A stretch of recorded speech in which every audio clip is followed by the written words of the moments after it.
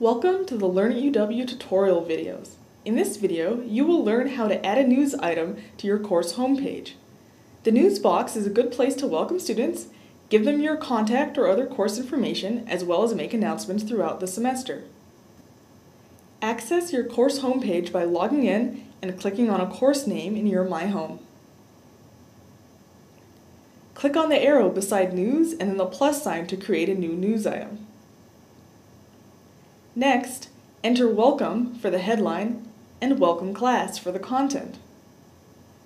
Now, click the B to make the selected text bold.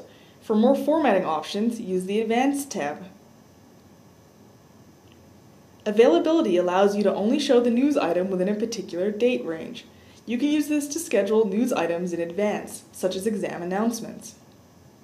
There is also an option to attach files to a news announcement. When finished, click Publish. To see your new news item, return to the course home. Your news item now appears on the course homepage. This concludes the Add a News Item Learn at UW tutorial video. Learn more about Learn at UW in our next video using the Course Builder.